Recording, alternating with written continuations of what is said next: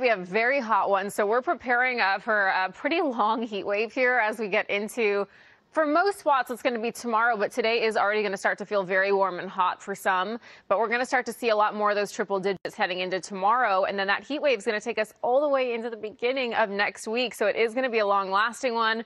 It's one of those weeks where people want to be spending time outdoors for July 4th. So uh, we're starting the warnings now to just be safe. Make sure you stay hydrated uh, and just dress appropriately as well. Light colors, loose fitted clothing, all a great way to try and stay cool. It's about 61 degrees over into Burbank. It's cool. We have some marine layer clouds that have moved into the valley. That's not going to stop the warm up for this afternoon, though. It's still going to be warmer than yesterday. And overcast into Irvine truly enjoy it now because the afternoons are going to be very hot and these overnight temperatures are going to change as well, especially once we get into the height of the heat wave where we're just going to be off to some very mild and kind of warm starts where we won't get that relief overnight. Now, you're not seeing the excessive heat warnings or heat advisories issued yet for Inland Orange County and the Inland Empire. As of now, the National Weather Service office there says they're not issuing it until Friday, but just know that we might see that happen a little sooner. Either way, prepare for the heat wave to begin tomorrow and the risk of heat related illnesses is going to last for quite some time. Elsewhere, it's in place for the Northern Valley, San Fernando Valley, uh, even into the heat advisory into the Los Angeles city areas.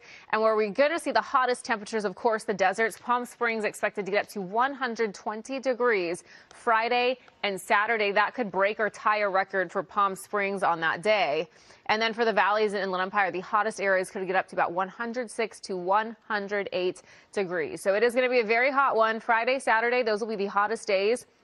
We'll talk more about this heat wave and how long it's going to last and what the week's going to look like and July 4th in just a little bit. Uh, For Jay quite some time. It's on the 5 southbound, but we're not seeing any backup on the southbound. We do have some backup on the northbound, though. Uh, it's right at Calgrove Boulevard.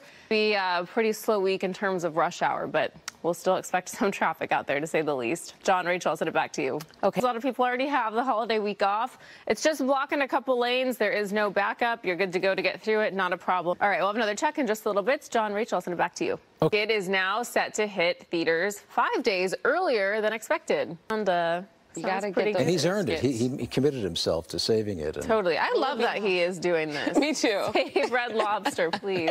You can see the delight on his face when they put the food down. He loves it. Hey, Les. Hey. So rush hour as a whole hasn't been too bad, but we've, of course, Still seen some accidents, and this is one of them. This is looking much better, though, than the 71, so that will be a good alternate. We'll take a quick look at too bad compared to what we typically see at this